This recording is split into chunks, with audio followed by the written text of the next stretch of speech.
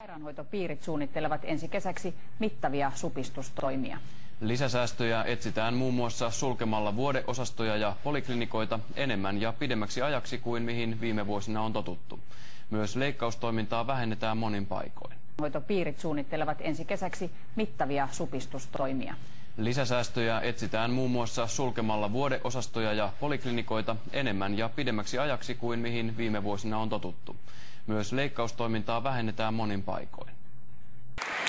Klinikka-toimintaa, vähemmän vuodeosastotoimintaa, vähemmän leikkaustoimintaa, vähemmän jotain muuta toimintaa, mikä sitten saattaa olla ominaista riippuen vähän erikoisalasta.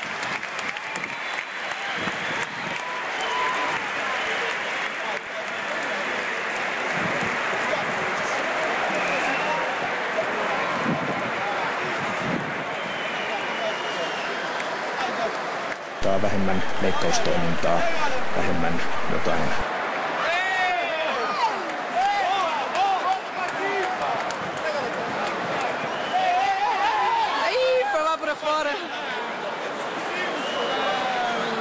vähemmän leikkaustoimintaa.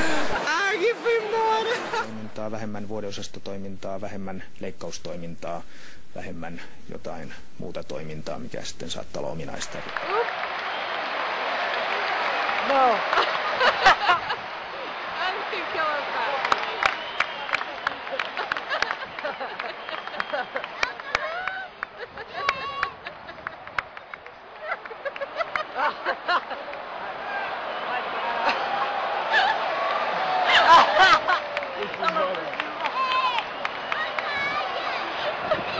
No.